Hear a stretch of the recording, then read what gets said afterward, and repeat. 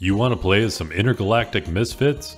With Spelljammer being confirmed, which is a Dungeons & Dragons setting revolving around astral and intergalactic travel, what better way to do that than to make an entire party of characters recreating the Guardians of the Galaxy? And that's exactly what we're going to do because this is D&D builds where we have an outlet to make all sorts of ridiculous Dungeons & Dragons builds and hopefully stop driving the people in our lives insane with them. We'll figure out a way to not just make the core members of the Guardians of the Galaxy, but some of the additions to the team as well. We won't go into excruciating detail or anything, so we won't be going level by level, Otherwise, this video would probably be about 3 hours long, but we'll make sure to cover all the important parts. Starting with the smallest member of the Guardians of the Galaxy, no not Baby Groot, because he does grow up and become pretty much the biggest member. We're talking about Rocket. Rocket is definitely the tinkerer of the group, and although he was genetically modified to become Rocket Raccoon. I was tempted to go with Warforged as a race since they are created specifically for battle and war, but I think it's a little more fitting to go with a race that's a bit smaller and more raccoon-like. Similar to my Aggretsuko build, I think the closest we're gonna get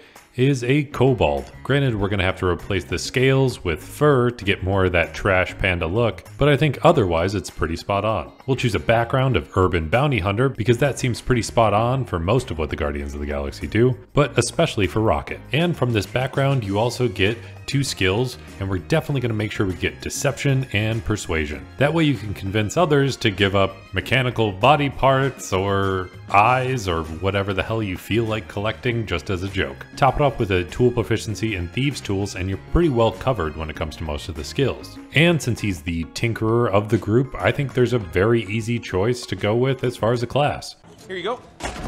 Oh, I was just kidding about the leg. I just need these two things. What? No, I, I thought it'd be funny. Was it funny? No, wait, what did he look like hopping around? I had to transfer him 30,000 units. You're gonna go Artificer. The Artificers are known as Tinkerers and you get to pick a subclass. And it's super easy because Rocket's always seen with a pretty massive gun or building one, so we're gonna choose the subclass Artillerist. As you level up with him and build him out, make sure to pump as many points into intelligence as possible and then follow it up with some dexterity as you can kind of nimbly dash around and hopefully not get hit. Then just focus on utilizing your force ballista that you get from being an artificer artillerist and blast away your enemies. Then the rest of this class focus on building infusion items or special mechanical inventions that you create. It's the best way to recreate Rocket and it helps most of your party. You're going to be the genius creating all the perfect gadgets for the perfect situations. Then we're going to go from the smallest member to one of the largest, going with Rocket's best buddy, Groot. While they haven't actually introduced Ents or tree people to D&D yet, at least as a playable character, which I really think they should since it's been in everything from Lord of the Rings onward. I think the easiest way we can recreate Groot using the existing playable characters would be picking a race that closely matches as much as possible. And I think that's probably going to be an Earth Genasi. They tend to be more depicted as rock type people, but we can easily manipulate this to being a bit more tree-like. As you figure out where to allocate points for him, Make sure you dump charisma because most people don't really know what he's saying, and those that do tend to be dealing with his more angsty teen phase. So charisma is definitely going to be a dump stat. Otherwise, put everything you can into wisdom and constitution because it should be no surprise that we're going druid. He doesn't really transform into other creatures very often, so I think we're best not focusing on Moon Druid or anything. There's really two types of Druid that seem to make sense. Circle of Spores, but that's more about releasing some poison into the air, so I think it's best we go with our second option, which is Circle of Land. You can choose a particular land that that druid is focused on, and we're going to pick the forest. Circle of the Land Forest gives us bark skin, plant growth, and tree stride. Bark skin's going to be pretty awesome because that gives us that bark-like outer exterior that we get being Groot. And of course we have plant growth because you grow plants around you constantly. As you level up being a druid, make sure to grab a handful of spells that are all focused around something more Groot-like. Grab Druidcraft, which will really just coincide with your plant growth ability and help build up the forestry around you, grab Thorn Whip to spread out your limbs and whip them across your enemies, and grab Shillelagh, because that way you can just beat people down with what's essentially your arms. As you continue to get more spells, make sure to grab Faerie Fire to reproduce that glowing lights thing that Groot managed to pull off, Goodberry to help out your teammates, and then some healing spells like Healing Word or maybe even Cure Wounds. And as you get even higher, grab Spike Growth, Wither and Bloom, Speak with Plants, Grasping Vine, Commune with Nature, Wall of Thorns, which is really going to be helpful, and then Druid Grove and Regenerate. Regenerate's going to be super helpful so that way you can chop off one of your own arms, use it for Shillelagh, and then be able to at least grow it back. And while Groot is one of the most lumbering members of the party, I think it's time we dive into the Master of Stealth, Drax. Oh, dude, how long have you been standing there? An hour. An hour? I've mastered the ability of standing so incredibly still that I've become invisible to the eye. Hi, Drax.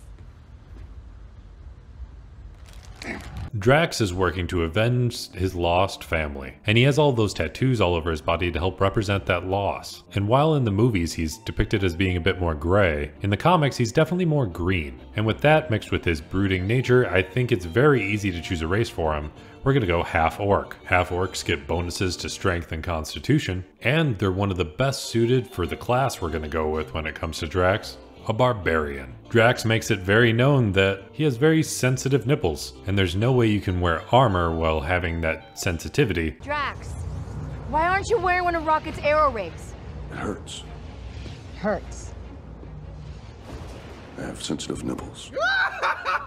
My nipples hurt. Oh, goodness. So you need a class with the ability of unarmored defense. Make sure to pump as many points into strength, constitution, and some dexterity to help boost up your armor class, and probably dump your charisma, wisdom, and intelligence because those definitely don't seem to be your forte. Drax has a tendency to attack non-stop with two short swords, so you're going to be dual wielding here. If you want to, you can try and grab the feat dual wielder and go with long swords, but they do tend to be closer to short swords, so if you're gonna grab a feat, I would grab the Fighter Initiate feat and grab the fighting style two weapon fighting. This will allow you to use your bonus action to attack with your offhanded short sword and still be able to get that bonus from your strength modifier to the damage. Mixing that with the additional damage you get from going into a rage and going wild, stabbing from wherever you are on the creature, you'll be able to get three attacks per round using your bonus action every time. And if you take your barbarian all the way to level 20, you'll be able to get 24 in strength, meaning that every attack has plus 7 for your strength modifier, and you can add in additional damage from your rage, getting an additional plus 4 for each one of those attacks. So that just means with all of three attacks landing, even before you roll any dice,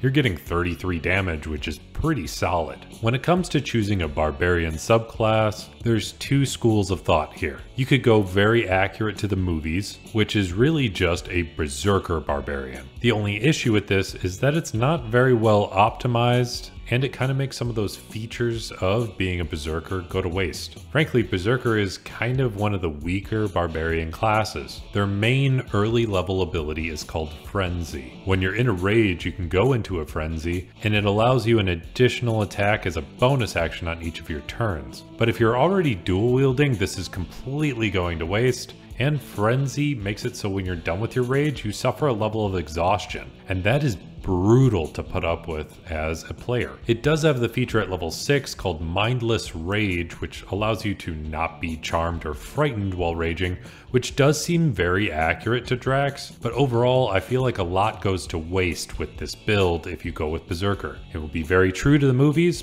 but I have an alternative. Instead of being purely true to the movies, we could go more true to the spirit of Drax. Like I mentioned, he's covered in tattoos honoring his family that he lost thanks to Thanos. So we can really run with that theme and go with something that's a little more useful. We're to go Path of the Ancestral Guardian. This has features that allows you to rely on the spirits of your ancestors to help protect you and your friends. While it might be less accurate to the movies, I think it is very accurate in spirit. So if you want to make this full party and make sure that you're still very useful, I think this is what I would go with. And now we're going to go from green in the comics to green in the movies going to Gamora. Gamora's been trained for battle her entire life by Thanos, but she was picked away from other members of her race at a young age. When it comes to choosing that race, I was kind of tempted to go with the race Verdan. It's another green type of race, and they're kind of an offshoot of Goblin, but they're usually depicted in a much more elegant way. The only issue is that a lot of their other features don't really coincide very well. Verdan have abilities revolving around telepathy, and that doesn't really seem to fit with Gamora at all. So instead, we're going to go half-orc again. While half-orcs do tend to be a bit more brutish, and that doesn't really feel quite right with Gamora,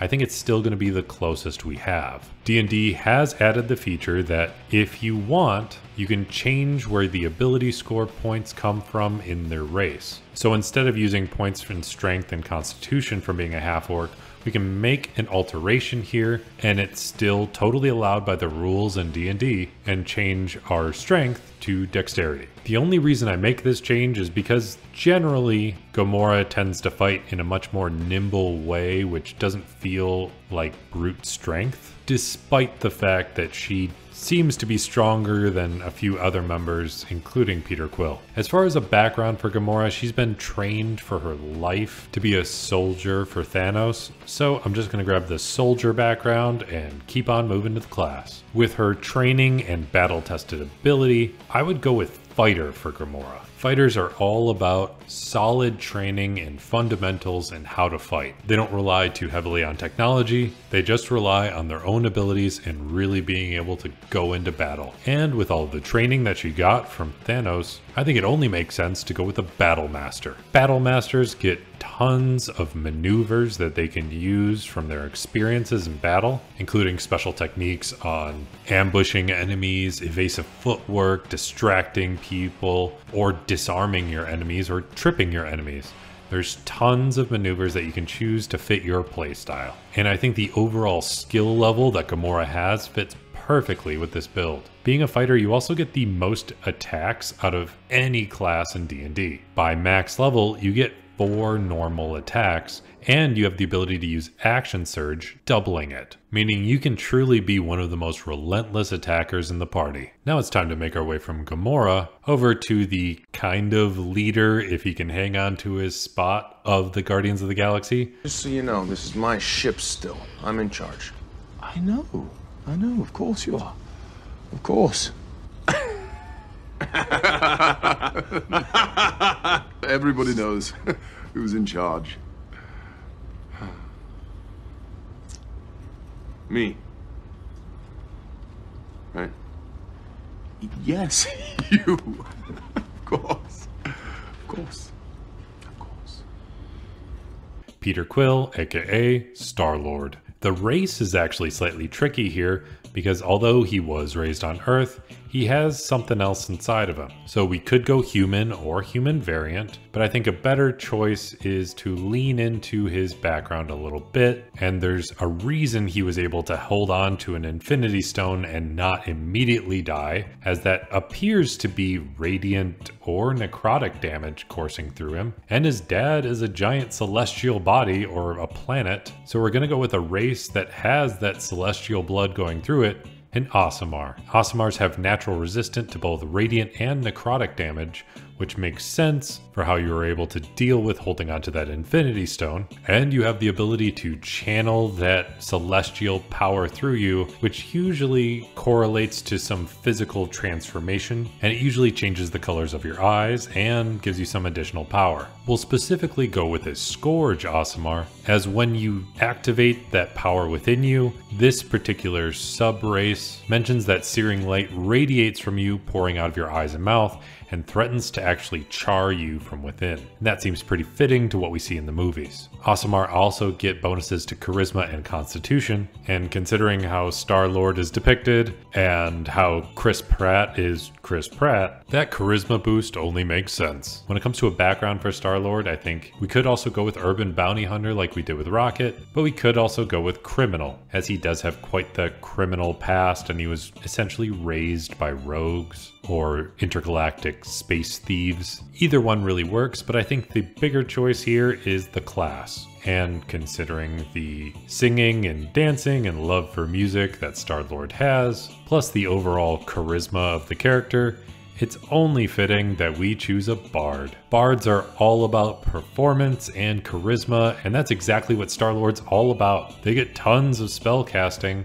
and they can dip into some of the spell casting of other classes, which is a nice feature to have. Star-Lord isn't afraid to jump headlong into battle, usually jumping around with his boots or using his blasters. So with that in mind, when picking a subclass, we need somebody with some battle ability, so we're going to pick up the Valor Bard. Valor Bards have additional access to weapons and armor, and they inspire others in combat. And that seems pretty accurate to what we see in the movies and Star-Lord's general abilities. Just make sure to pick up a handful of spells that really work well with Peter Quill, so really just grab things that boost your allies or debuff your enemies. But don't forget to grab Vicious Mockery to really insult your enemies and make it hurt a little bit. And grab one of the newer spells, Silvery Barbs, because this is all about distracting your enemies and you know how to do that. Finally, just to make sure you cover your bases with those rocket boot type things, make sure that Rocket Raccoon hooks you up with one of his Artificer infusions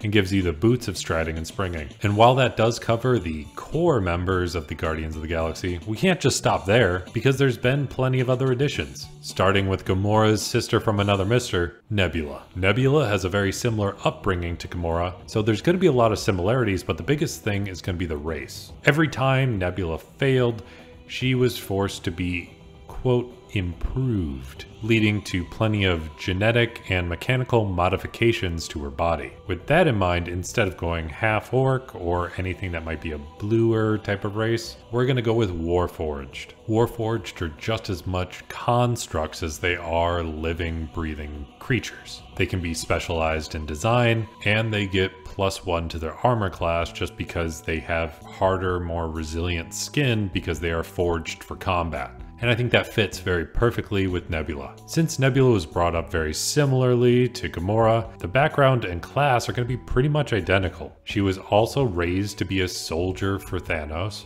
so we're to grab this soldier background, and she's been trained in most of the arts of battle for her entire life. So we're to grab the fighter and go battle master again. It's very similar, but if you want to be the point in the Guardians of the Galaxy timeline where Gamora is not around but Nebula is, it's a nice little substitute in your party. And now, since the actress who portrays Nebula is great friends with this actress, we're going with the ever quirky and lovable Mantis. Mantis is definitely a very unique character to play as, and I think she'd be tons of fun to play in a D&D adventure. You get to do all sorts of weird, quirky stuff, and I'm sure it would create tons of interesting moments in a D&D campaign. But if you want to play as her, first thing we gotta do is pick a race. While in the movies, she is a more neutral skin tone, in the comics, she's depicted as everything from that neutral tone to even more green. And we're going to lean into that and go with what we were considering for Gamora earlier, going a Verdan. Verdans have natural telepathic abilities, and that's definitely going to help us with recreating Mantis. Mantis is super charming, but she doesn't quite understand people very well, and she doesn't really rely too much on her own physical combat abilities. So we need a class that's going to reflect that really well, and I think the best way we can do that is by going Sorcerer. And right away with Sorcerer, you get to pick a subclass or a Sorcerous origin and we're going to go with Aberrant Mind. Aberrant Mind is all about focusing on mental related powers, and that's pretty spot on for everything Mantis does. With how charming Mantis is, but not understanding people as a whole, we're just to dump wisdom, but make sure we boost the hell out of charisma, and then follow it up with some dexterity and constitution, just to make sure you can survive a little easier. As you level up through this subclass, you get additional spells that are very relevant to more psychic related things. You get enhanced psychic defenses, giving you advantage on saving throws against being charmed or frightened. You can cast most of your spells using psionic sorcery, meaning you can cast them telepathically instead of waving your arms around like the local wizard. And then a lot of the other abilities revolve around changing your physical form, which we're just kind of going to ignore for right now. When it comes to the spells, you automatically have access to Dissonant Whispers, Mind Sliver, Calm Emotions, Detect Thoughts, all of which feel like they fit super well with Mantis. The only other things I would make sure to grab at a low level is Sleep, because you tend to use that to help people to sleep, and then maybe at a higher level, grab that Psionic Sorcery spell, Rary's Telepathic Bond. It should have you pretty well covered, and you'll definitely be a fun member to add to the party. And now finally, we have one more member we have to include, and that's Mary Poppins, y'all. Yondu likes to be the father figure, and he's not the daddy you have, he's the daddy you need. Picking a race is a little tricky, but I think we're gonna pick a nice, interesting blue alien race, even though many of the depictions are very similar to a different blue alien played by another member of the Guardians of the Galaxy, I think it fits pretty well with Yondu as well. And we're going Vedalken. They get a boost to their intelligence and their wisdom, which I think works just fine. I would say the only thing that Yondu isn't great with is his charisma, and he's not quite as dim-witted as a lot of mercenaries and thieves seem to be throughout the galaxy, which I always find interesting because they have to have some ability to understand space travel, yet they're a complete idiot. But that's beside the point. When it comes to choosing a background, we're definitely going to go with the criminal background because he's definitely a hired criminal and that just seems to make the most sense. And then with him constantly looking for a good score, we're definitely going to grab the rogue class. As we level up, we want to grab a particular feat which will help us when it comes to recreating Yondu's ability to summon that arrow that can dash around at his command. So we're going to grab the feat Telekinetic. This allows you to use the Mage Hand cantrip and make sure that that Mage Hand is invisible so you can move it around and hold on to that arrow without anybody actually knowing. And Speaking of Mage Hand, when it comes to our subclass, when it comes to a rogue, we're going to choose Arcane Trickster. It's one of the only spell casting rogues you can get, but I think it's particularly fitting for Yondu. Being a thief, while still having some unique abilities that are hard to replicate without some magic. But if you don't want to rely too heavily on magic, you could just go strictly thief rogue and just make sure you get something like a dancing rapier. While this isn't exactly the same as the arrow that Yondu has, its actual functionality is almost identical. The dancing rapier is a magical sword that as a bonus action you can toss into the air and speak a command word or whistle, and when you do so, the sword begins to hover and flies around, moving up to 30 feet, and attacks one creature within 5 feet of the sword. This is almost identical to the functionality of the arrow that Yondu has, and you could say that the attunement that's required for the Dancing Rapier forces you to have that unique mohawk thing that Yondu has. So if you want to play as the true daddy of the Guardians of the Galaxy, I think this covers it pretty well. Go either Rogue Thief with a magical dancing rapier, or just stick with Arcane Trickster. And with that, we've covered most of the characters that have ever been a part of the Guardians of the Galaxy to some degree. So I think that if you're going to wind up in a Spelljammer themed campaign, you're pretty well covered if you want to go as the Guardians of the Galaxy. This entire build was created thanks to a vote that I posted on my YouTube. So if you don't want to miss out on stuff like that, make sure to subscribe. I post tons of D&D content, plenty of ridiculous builds, and occasionally throw up votes for what we should build next. So if you don't want to miss it, make sure to subscribe. If you want to go above and beyond like these amazingly kick-ass people, feel free to check out my Patreon and become a patron like these badasses because I really cannot thank them enough for all they do to help me with this channel. Finally, if there's additional builds that you want, let me know in the comments down below. I try and read as many of them as possible, and I'm gonna try and build everything I possibly can that's recommended. And lastly, if you made it all the way to the end here, let me know by hitting that like button. It lets me know you got all the way to the end of the video, and I'll be here helping you roll at least 3 nat 20s on your next D&D session, especially if you plan to dance battle your enemies into distraction as you soar through the galaxy, bringing about all sorts of mayhem and chaos.